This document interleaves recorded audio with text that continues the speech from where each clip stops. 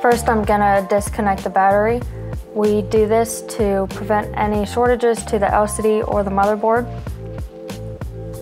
So to do that, you wanna flip the unit over and take out all of the bottom cover screws.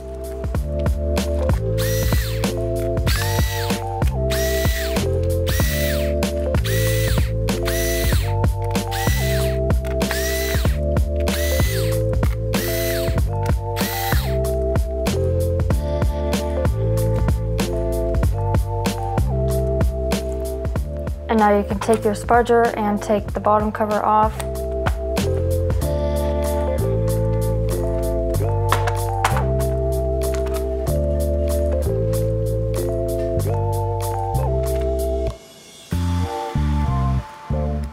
And then disconnect the battery cable from the motherboard.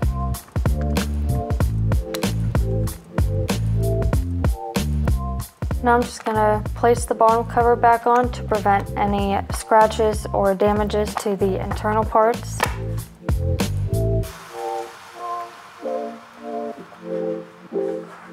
And then flip the unit over and open it up. And use your spudger to take the LCD out.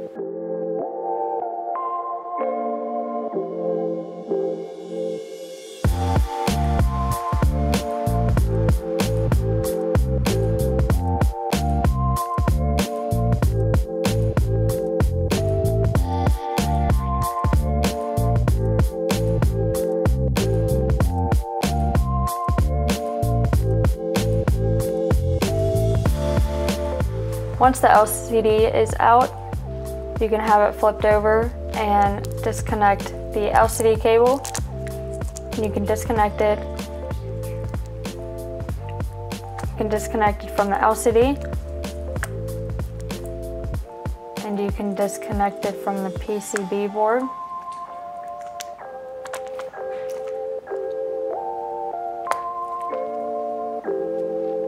And from the sensor board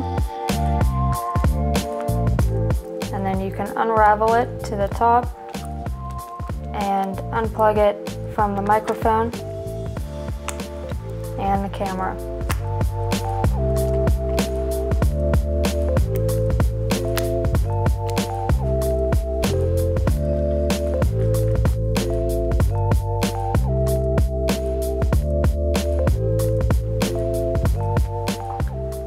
Now I'm going to take out the microphone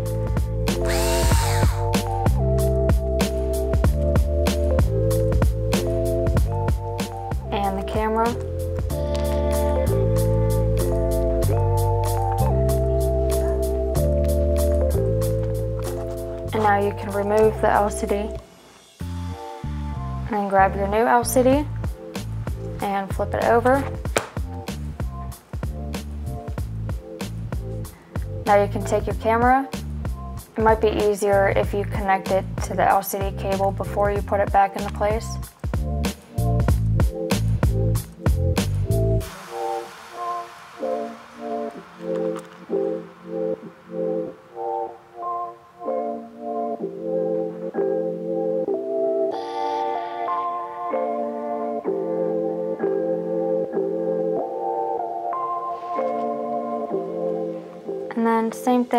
The microphone.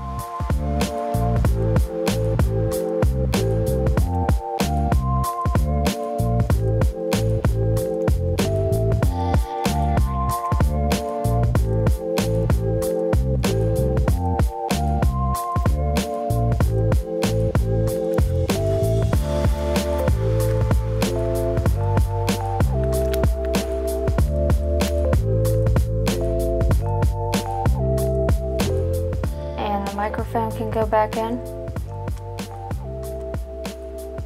And you can put the screw back into the microphone.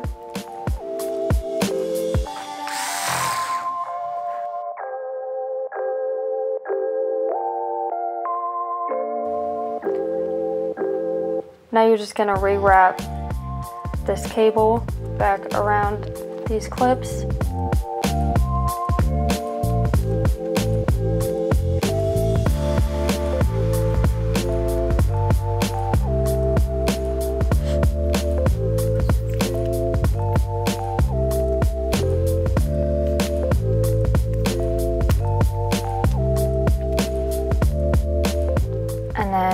Reconnect the LCD cable to the sensor board and to the LCD.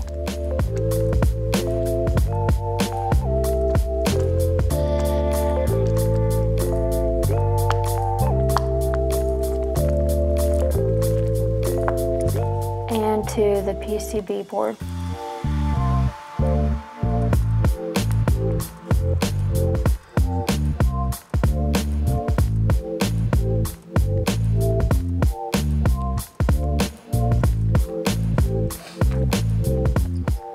That everything is back into place and reconnected, you can put the LCD back into the top cover and snap it back in.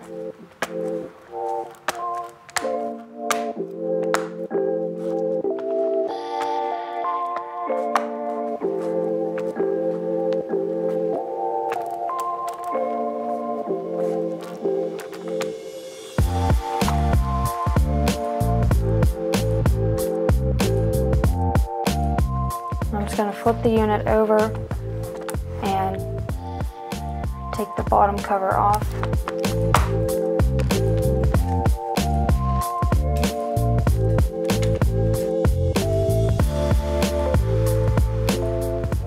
We can reconnect the battery to the motherboard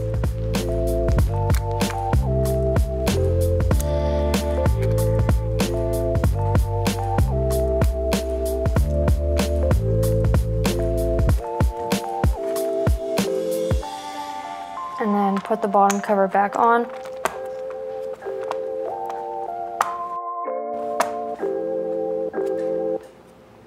And put the bottom cover screws back in.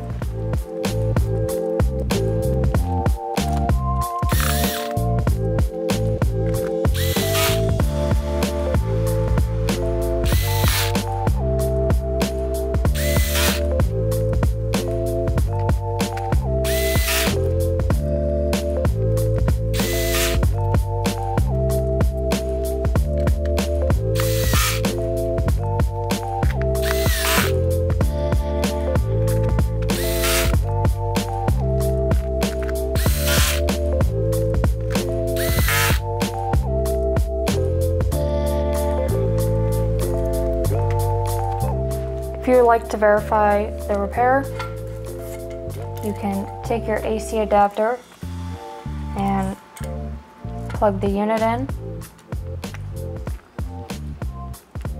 and then open the unit up.